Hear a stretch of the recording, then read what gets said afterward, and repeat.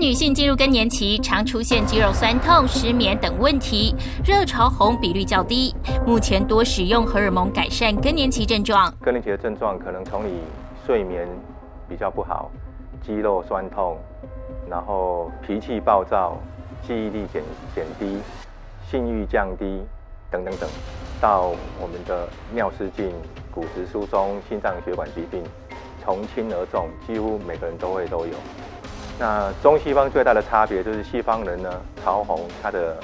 比例很高，但是呢，在台湾呢，台湾人是以失眠、啊肌肉酸痛这些的比例呢会比较高一点。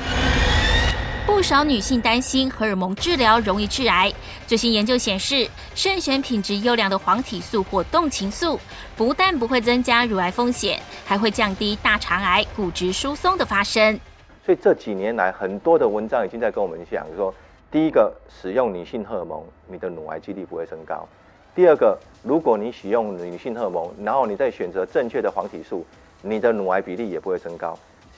相反的，你的心脏血管的疾病会降低，你的尿失禁的程度会降低，你的老人痴呆也有可能会降低。外，台湾更年期医学会长期提供医师、医疗人员专业知识资讯，专业人员再转达给民众，提供民众最正确而有用的讯息。因此，医学会的任务非常重要。台湾更年期医学会呢，它的最大的功能，我觉得对台湾最大的帮助，就是台湾更年期医学会